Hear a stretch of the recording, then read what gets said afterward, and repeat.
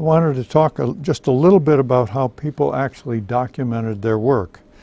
Uh, early on, if you wanted to see something that was moving fast, uh, you had to take a picture of it. And this is a picture, uh, standard film camera, 35 millimeter camera.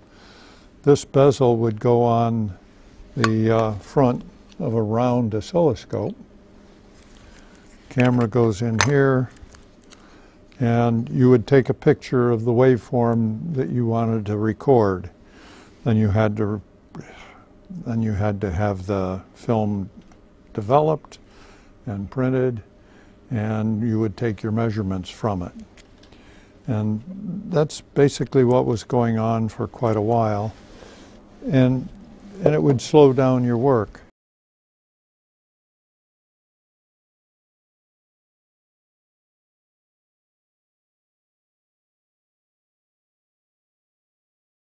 In the 50s, uh, Mr. Land came up with his instant film.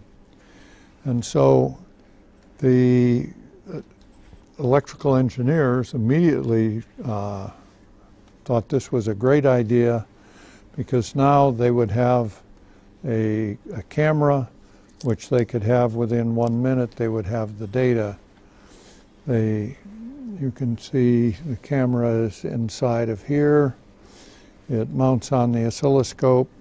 You latch it in place and you open up the screen and take a single picture, maybe just one, one, one trace that you can get, or you can get the multiple traces.